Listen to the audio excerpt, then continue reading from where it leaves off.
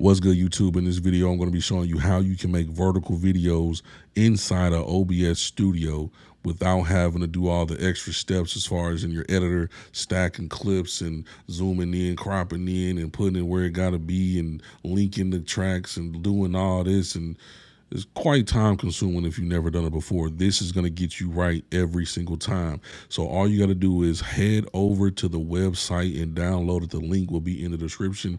You can download it there. And then once you install it, it's going to do everything for you. I had my OBS closed. And when I opened OBS up, it was right there chilling, waiting for me. It let me lock this in where I wanted it to over towards the right Sometimes it doesn't want to act right when you got dual screens, but there you go. So it's locked over there, and you might have to make these bigger depending on how small they made it on your screen. So just do that. All right, so starting things off, we have some settings right here. So when we pop those open, we can choose if we want to do 1080p or we can do 720p.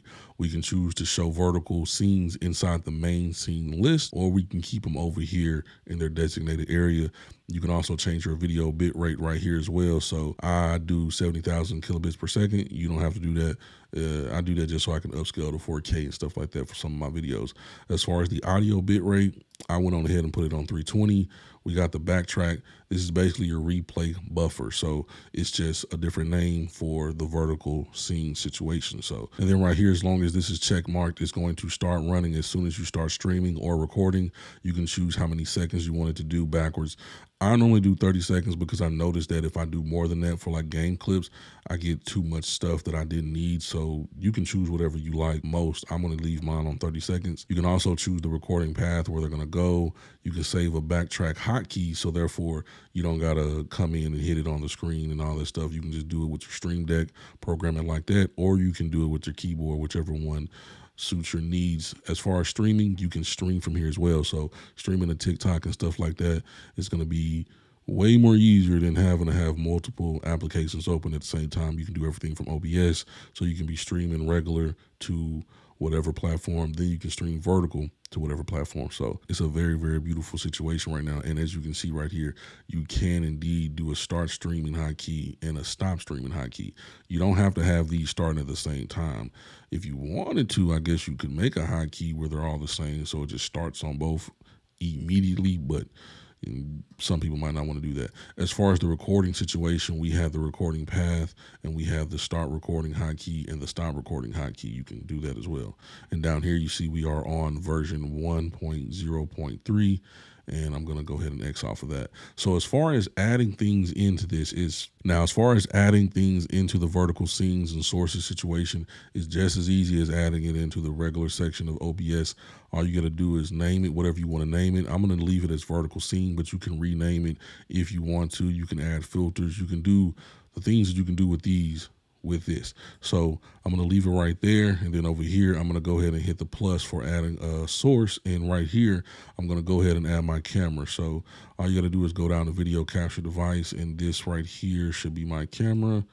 And then if you want, you can resize it, put it where you want it and do all that type of stuff right there. I'm going to hide it for right now. And then the next thing you can do is go ahead and add your actual game source. So I'm going to go back to that video capture situation. And this time I'm going to choose my Elgato.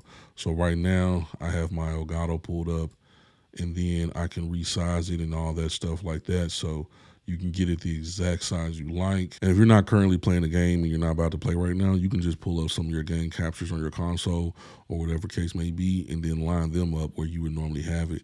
And it'll just work just like you need it. So since I'm already on the Xbox, this is how it's going to look when I'm playing the game anyway. So I can do it like this and get it all set up. So let's check this out real quick.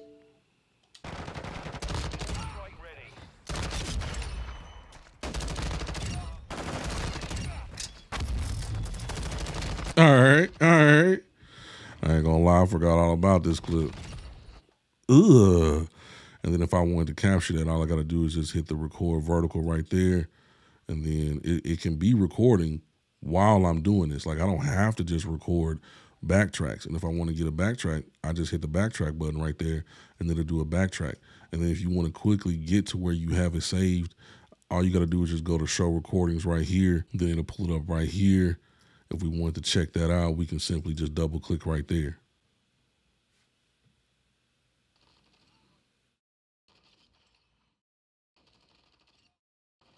And the reason why you didn't hear any type of audio from the actual game track is all there. It's just I record on different tracks. So my voice is on a track, my game is on a track, and then the party chat when I'm talking to people, that's on its own track as well. So when I'm playing the video back, all you're gonna hear is the first track, which is my microphone, but you can still hear it picking it up from my headphones. But everything's gonna be there when you drop it into your editor. And just so you know I'm not BSing you, I'm gonna drag that over. I'm gonna pop this up and I'm gonna drag it right where it needs to be. And there you have it right there. Everything is right in its wonderful place where it's supposed to be. And if we hit play on it, like I said, it's just that easy, just that simple. I just wanted to throw in real quick right here. You see how we can still click and move and do all that other stuff. We can actually lock these over here, just like we can lock them over there. So lock them, so therefore you won't be able to move them around, mess up what you just organized. And don't forget, you can add text to this as well. You can add picture overlays, whatever you want to add to make it more unique, more cool, more you. You can do that. Anything that you can do over here, you can do over here. Make it look nice, make it look beautiful. Get them clips, get to going viral, get to getting all the views on TikTok, YouTube Shorts, wherever the case may be. Instagram, it don't matter. Facebook, I don't know. The choice is yours. This is a beautiful, magnificent situation. If this video helped you out, please slam the like button. is greatly appreciated. And a lot of people be commenting saying they don't know how to thank me. Thank me by leaving a like. It's cool. Like you don't got to do too much. You don't got to do nothing crazy. And if you really want to thank me, let them ads play. Let about 35 seconds of them ads play or let them play all the way. That's how you can support your YouTubers. Liking and letting them bad boys play. I'm just keeping it real with you. And as always, I'll see you in the next one. Peace. Big, huge thanks to Harris Heller and Aitum. They are here going crazy.